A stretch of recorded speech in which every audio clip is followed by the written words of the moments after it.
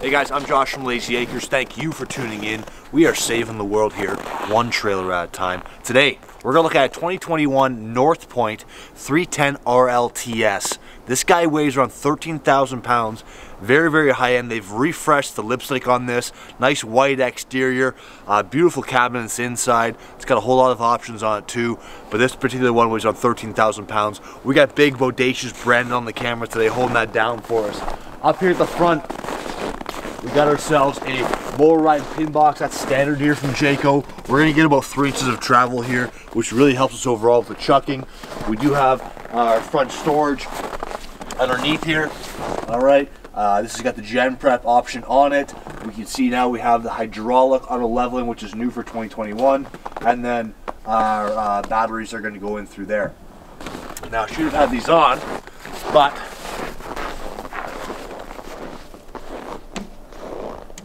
There we go. Now we got those fancy fancy lights there at the front. Those look good. Look, the, the outside of this has really taken a step forward, guys. They, it looks very, very sharp. Um, we do have side mount cameras here as well as a rear observation camera. Uh, here's our propane tanks. And then in through here is our drop frame storage. So lots of height in through here.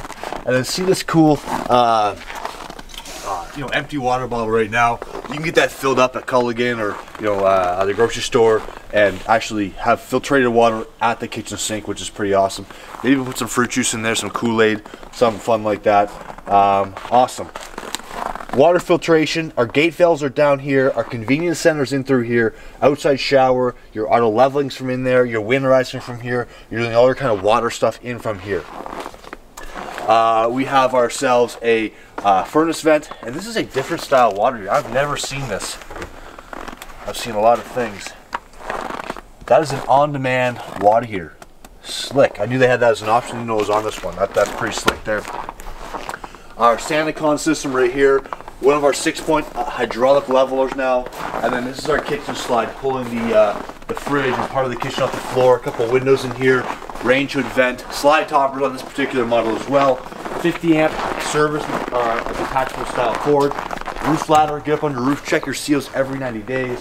Then we do have a um, a rear receiver here at the back.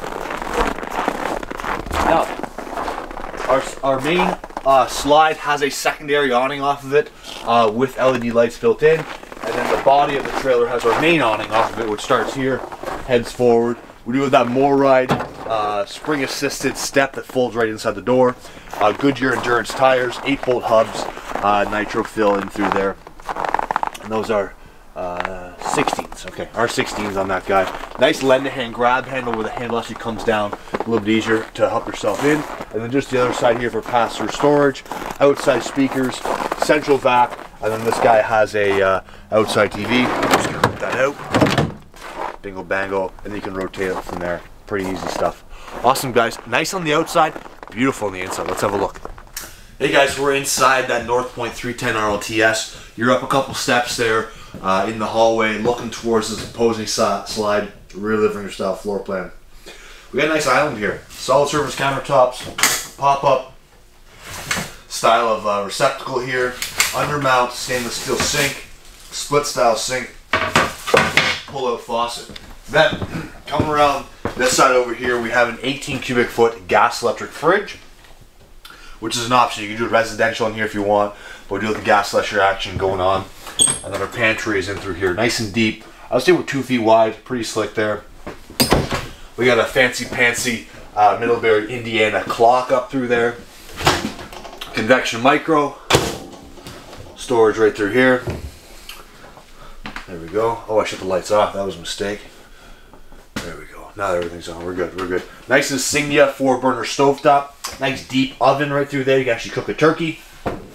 Again, more solid surface countertops. Drawers down below. And then just back over the island here. Built-in garbage can. Nice big covered door right there with a drawer built in at the bottom.